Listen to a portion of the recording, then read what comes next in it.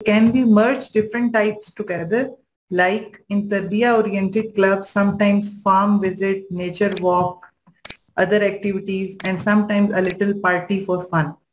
और किसी और ने भी यहाँ सवाल किया था कि फूड रिलेटेड चीजें अगर हों तो ये कोई उस पर इफेक्ट तो नहीं डालती नेगेटिव इम्पैक्ट तो नहीं डालती अच्छा। यानी आप अपने, बहुत फ्लेक्सिबल है, आप बिल्कुल कर सकते हैं। आपने कुरान का हल्का है और आप एक फार्म पे विज़िट कर रहे हैं, बल्कि मेरा ख्याल है कुरान के हल्के वालों को तो ज़रूर ही फार्म पे विज़िट करना चाहिए। उसके बगैर वो कैसे एस्यूम कर रहे हैं कि फार्म और नेचर को देखे बगैर कुरान को समझेंगे, ये तो एक वैसे ही मतलब ना समझ में आने वाली बात है, क्योंकि वो जो आयात फार्म के ऊपर और यानी नेचर के अंदर अल्लाह की जो निशानियाँ बिखरी हुई हैं, उसको समझे बगैर तो ये तो बिल्कुल कर सकते हैं, बहुत फ्लेक्सिबल है। और ये जो बात है कि पार्टी और फन असल में फन जो है ना, हमारी ईमानी तनाजुर में अलग से कोई चीज़ नहीं है। हम एक बामानी काम करते हैं, उसके अंदर एक खुशी होती है, एक लुत्फ आता है, हमारे जौक को तस्कीन मिलती है, हमें अच्छा लगता है, हमारी दिलचस्पी होती है। और this is very much satisfying for every one deep level satisfaction हासिल होती है, अल्हम्दुलिल्लाह। लेकिन ये जो सेलिब्रेशन है, ये जो पार्टी है ना, ये जो, ये सेलिब्रेशन और पार्टी जो है ना, ये फन जो जो एक्सक्लूसिव फन की जो एक्सक्लूसिविटी है ना, कि एक्सक्लूसिवली फन टाइम होना चाहिए।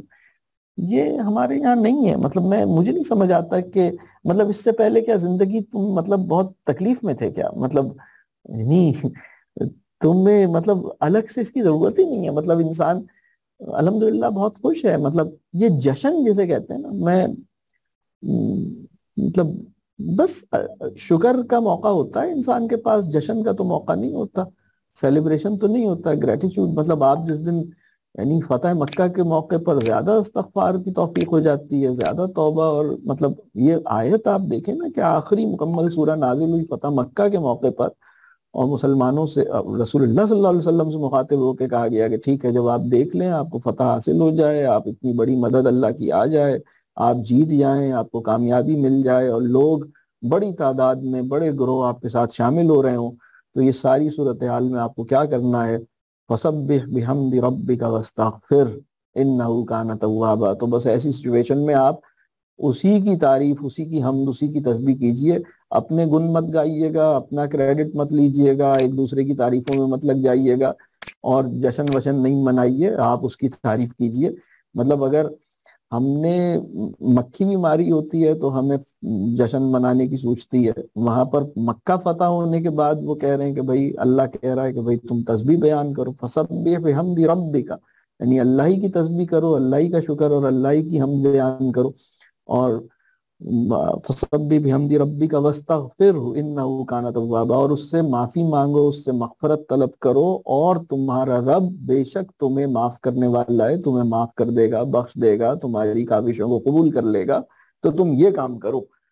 तो सेलिब्रेशन और पार्टी और फन जो है ना, पता है, एक मसला ये हो गया, लोगों को ये लगता है, मैं अक्सर एक एक जगह मैंने देखा, वो बच्चों का उन्होंने कोई प्रोग्राम किया, उन्होंने कहा कि भाई, हम रमज़ान है, क़यामुल कर रहे हैं या कुछ इस तरह की चीज़ कर रहे हैं तो उसमें हम, उन्होंने उसको प्रोजेक्ट किया तो उसमें उन्होंने उसका फ्लायर बनाया और उसमें पिज्जा को हाईलाइट किया कि पिज्जा भाई लोग तुमसे मिलना नहीं चाहते, क्या पिज्जा की शक्ल देख के तुम्हारे पास आते हैं या तुम्हारी शक्ल देख के पिज्जा को कबूल करते हैं? पहले ये बताओ मतलब मैं तो अपने पसंदीदा आदमी के साथ दाल रोटी भी खाना के लिए राज़ी हूँ ना लेकिन अगर मेरा पसंदीदा आदमी मुझे पिज्जा के बगैर मिलेगा तो मैं नहीं मतलब उसके पास जाऊँगा।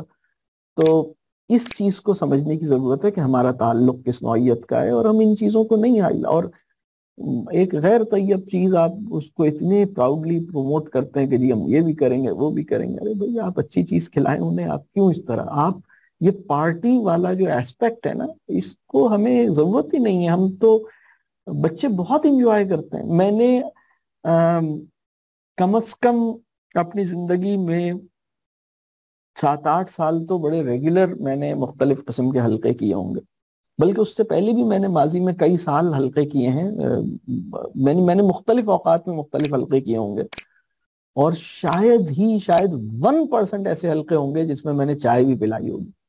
या कोई, मैंने कोई छोटी सी चीज़ मतलब सिर्फ़ पानी, सादा प्लेन वाटर सालों लोग आते रहे अलहमदुल्ला ये जावेद भाई यहाँ मौजूद है, हमारे यहाँ जो हल्का होता था, हम सादा पानी बस मिल जाता था लोगों को, सादा पानी। मैं बिल्कुल सही बता रहा हूँ, कोई nothing nothing else just plain water and every one और बच्चे आते थे, हमारे बाज हल्के ऐसे हैं जिसमें छोटे छोटे बच्चे आए हुए हैं, इतने मज़े से वो बातें कर रहे हैं और बाज़ात ये होता था कि उनके पेरेंट्स नहीं आना चाह रहे होते तो बच्चे पीछे पड़ जाते थे हमें तो जाना है। और वो और वो बातें हो रही हैं, दुनिया जहान की इल्मी नौयत की बातें हो रही हैं, बच्चे शौक से सुन रहे हैं, कोई मसला नहीं। तो इससे ना बड़ी खैर होती है इसमें, जब आप चीज़ों को सिंपल रखते हैं ना तो लोगों की नीयतें भी ठीक रहती हैं। लोगों को पता है कि भाई मैं एक अच्छे काम के लिए जा रहा हूँ, उसमें मुझे समोसा और बिस्किट और सैंडविच की और पिज़्ज़ा की कोई लालच नहीं है। मतलब बस ठीक है, मैं केक वेक की वजह से नहीं जा रहा, मैं प्योर अपनी कभी कभार खिला दें कोई अच्छी मतलब खिलाने को गलत नहीं है, कभी खिला भी दें, मैं ये नहीं कह रहा कि नहीं खिलाएँ। इसके पीछे कंजूसी का फैक्टर नहीं हो, इसके पीछे बस ये हो ऑब्जेक्टिविटी का फैक्टर हो। बात वाजे हो रही?